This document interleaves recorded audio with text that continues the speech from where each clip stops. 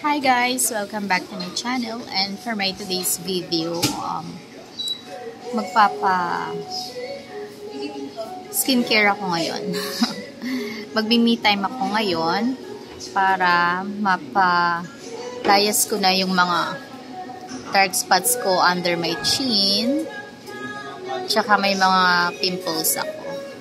Okay, so I got the package of um, worth 3,000. That is the ultimate signature ng Fresh New Day and it costs 3,000 pesos.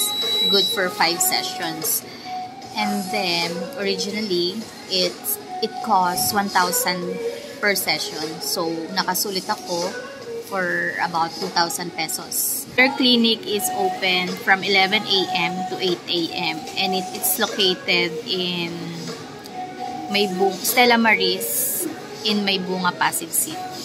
So, share ko na lang sa inyo yung journey ko. So, since this is gonna be my first session today, at sobrang ang pangit-pangit ng pagmumuka ko sa ayaw at sa gusto nyo, tiisin nyo na lang at panoorin nyo yung aking video. Thank you anyway. Char lang. Ayun, sobrang ang dami kong blemishes, dark spots, at saka pimples. Sobrang dami. Ayun, bali, ay gusto ko lang din i-share para makita nyo rin yung journey ng aking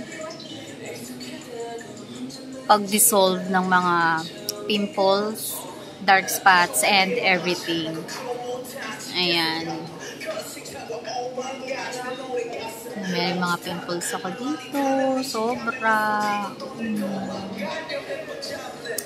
Okay, so, let's do this. Punta na ako sa clinic.